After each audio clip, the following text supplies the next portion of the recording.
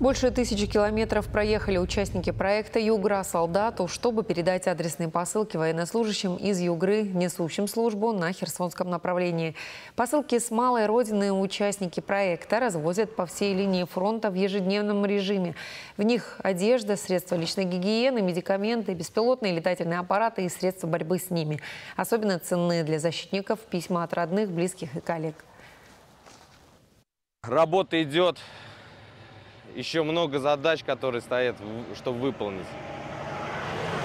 От вас, от вас, помимо той, что заботы, заботы, на вас осталась, в принципе, наша Родина.